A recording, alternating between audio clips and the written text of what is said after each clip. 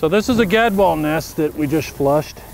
And now you see, almost looks like different eggs in there, right?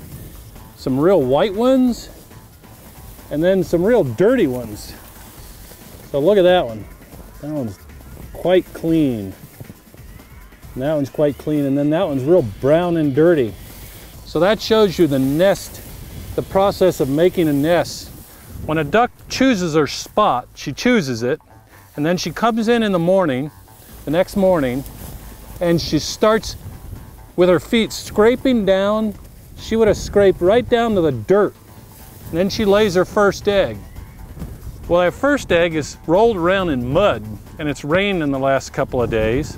In the last week, we've had quite a lot of rain.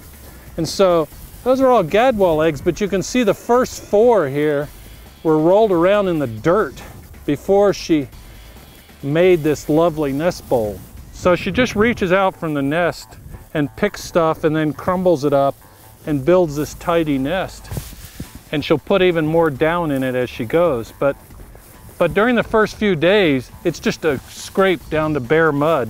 And so you'll often see stuff like this where you have a dirty egg and a clean egg.